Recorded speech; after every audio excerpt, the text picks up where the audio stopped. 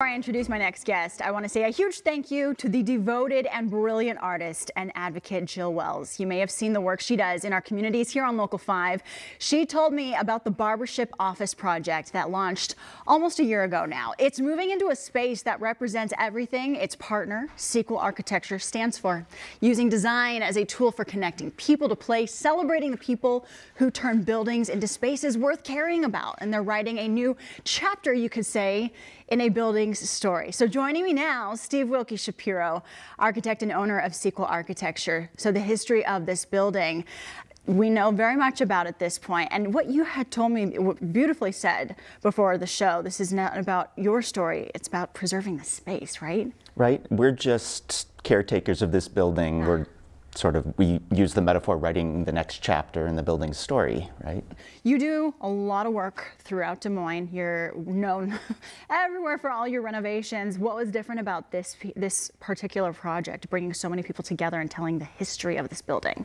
Well, obviously not. A, it's not only personal to me as it's going to be our office, but also just you know we're working there day in day out to to renovate the mm-hmm. building. Mm -hmm and not a week went by when somebody didn't stop in, knock on the door, and tell us a story about having their haircut or mm. their first child's haircut by Harlan Thomas in this in this shop. For how many buildings you've worked on, this had to be something special with the progress that is happening around this renovation.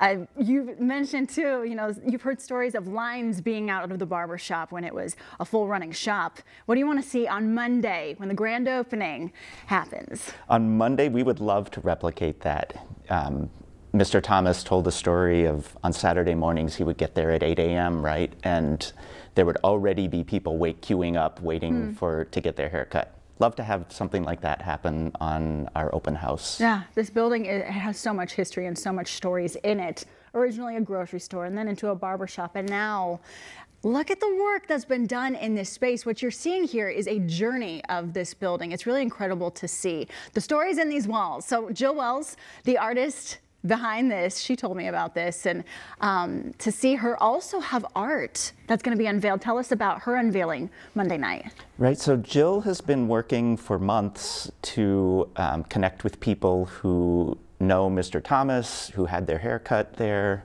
Um, who have stories to tell about this building. And she's been documenting those stories um, and creating a work of art that's going to be mounted on the wall in the entry.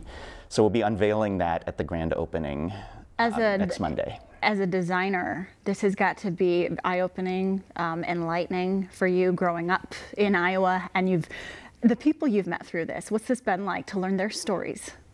Right. Well, that's it's kind of it's kind of what we're about. Yes. Like we focus on historic buildings, um, and every building. We give meaning to the buildings that we inhabit by the things that happen there, the connections mm -hmm. that we make with other people there. Um, so it becomes more than just more than just a pile of sticks, right? It mm. becomes a place that that's meaningful to the people who who live, work, and play there. And I love that you used the word care for the building because it's, that, it's exactly what it deserves. You know, the history behind it, it deserves someone with a caring uh, approach to all the work that you do. All right, let's get the details. The address, the times, what's going down Monday?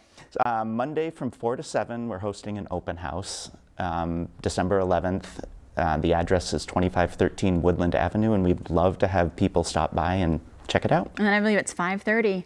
Jill is going to unveil her masterpiece added to this. It's just really incredible to get your perspective in all the work that you do, all the renovations that you do, and to also see the community building that's happening out of this. It is so much more than an office space, right? Absolutely. So what do you hope to see as you come in day in and day out? It's going to be, I feel like it's going to speak to you in maybe a different way other buildings haven't.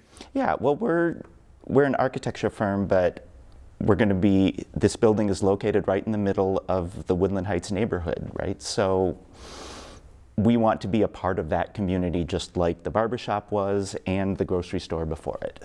Wow, I'm so excited. I'm going to try to be there. It might be a little past my bedtime, but truly the work that you're doing, it is, it's just bringing communities together in a beautiful way.